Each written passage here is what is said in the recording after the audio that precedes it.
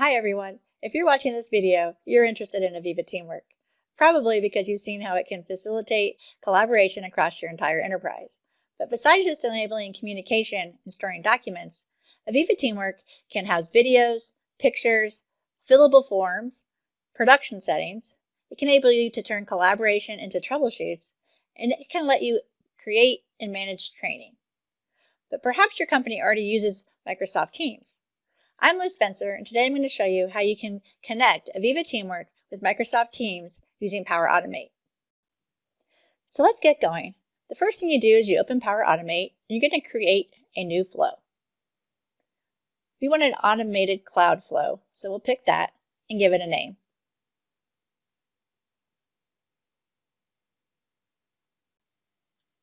We now need to create our connection, so we'll type in Poka to the search bar. When we select Poka, we're going to create this connection one time. First, we need to give it a name.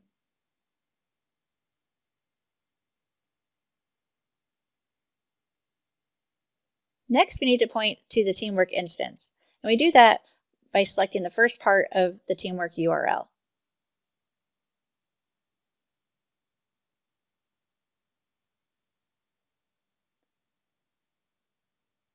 And lastly, we need to create the secure connection here by putting in the API key that we get from the Teamwork instance. We do we get the API key by going to the administration section, into the API section, and then into the API key area. You just need to create this key one time, and when you do create it, you need to make sure you save it to a safe place as you cannot reopen it in Teamwork.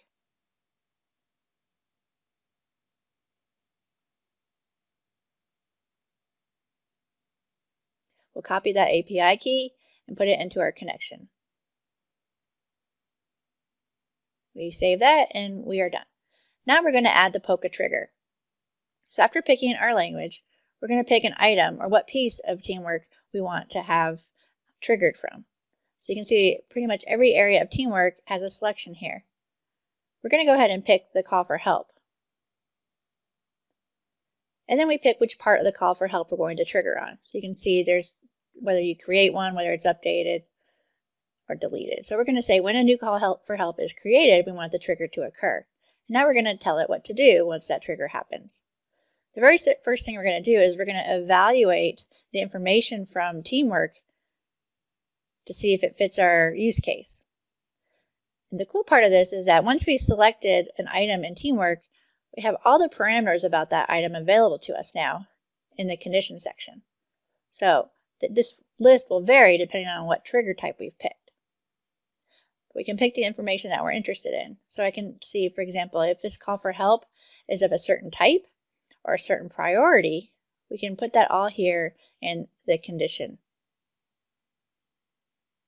So I'm going to pick the type 5, which I know is a maintenance type of call for help, and priority of 1, which is critical. So if that occurs in the new call for help, then we can have something happen. So we can say if it's true, then something, or if it's not false, it's something. So if it's false, I'm going to send an email to myself really at this point to say, hey, it didn't it didn't work or this is, you know, there's something wrong. So I'm going to go ahead and, and put that mail action in there. I'm going to put my own email address and a subject.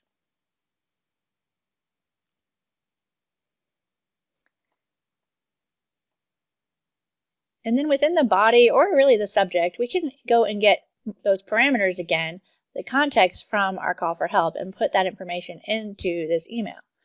So here we can say who, you know, who created the call for help or the information about what was in the call for help or anything we want to be part of our email.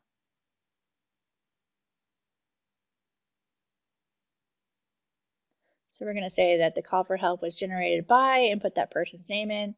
And then we'll also put what the content was of that call for help into the body of the email. And again, this email is only going to be sent if the condition is not met. Now we want to configure the yes part. So if those two, if the call for help is of type 5 and priority 1, then what do we want to do? This is where we're going to connect it to Microsoft Teams. And inside the Microsoft Teams connector, you see there's lots of different actions and things that we can trigger. So we're going to go ahead and make a post if those conditions are met.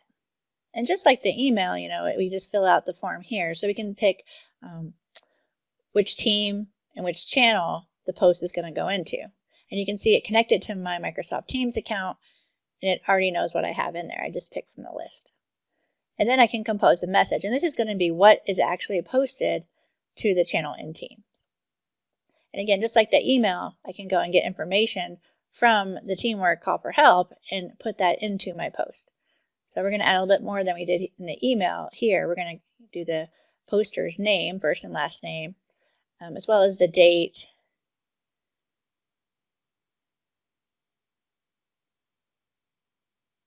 and the status, and then also we'll put the content as well.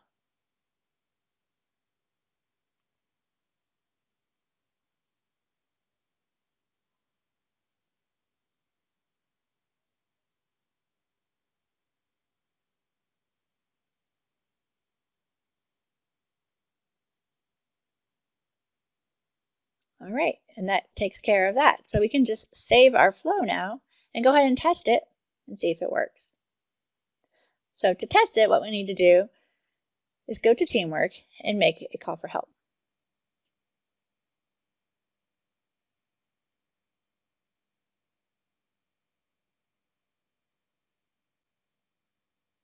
So we're back over in Teamwork and we'll go to our, our Kanban dashboard. You can see Samuel is logged in at the top right there.